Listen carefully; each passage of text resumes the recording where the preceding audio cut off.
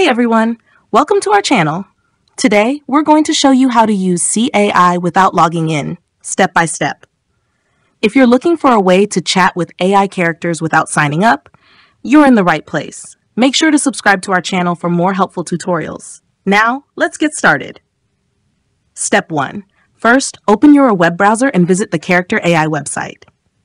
Simply type Character AI into your search bar and click on the official site. Step 2. Once you're on the homepage, look at the top left corner. You'll see options for login and sign up. This confirms that you are not signed in and can continue as a guest. Step 3. Now scroll down the homepage. You'll see different categories like recommended, comedy, heroes, anime, and game characters. These sections contain various AI bots you can interact with.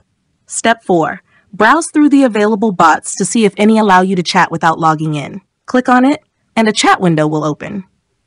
Step 5. If prompted to log in after typing a message, e.g. hi, try a different character. However, keep in mind that some bots might have restrictions for guest users. Step 6. Keep checking different characters until you find one that allows you to chat without an account. Step 7.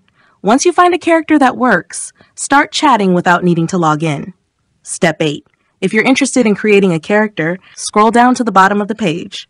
You'll find the Create option. Click on it to proceed. Step 9. Next, select Create Character.